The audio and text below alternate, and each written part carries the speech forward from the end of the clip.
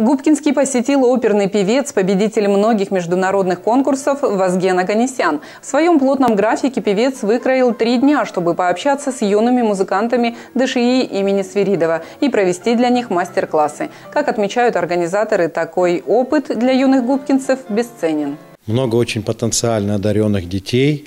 Безусловно, надо с ними работать. И я уверен, что некоторые из них обязательно будут ну, славой вашего города, славой этой музыкальной школы. Очень интересно с ними работать, очень дети, которые понимают то, что я хочу делать, и могут даже это выполнять, что не всегда бывает так быстро. Ну вот здесь в таком у нас э, быстром все достаточно, достаточно проходит режиме, и уже есть как бы плоды и изменения, которые мне хотелось бы видеть. И это очень радует. В завершении своего визита певец совместно с оркестром преподавателей ДШИ имени Свиридова выступил перед губкинцами.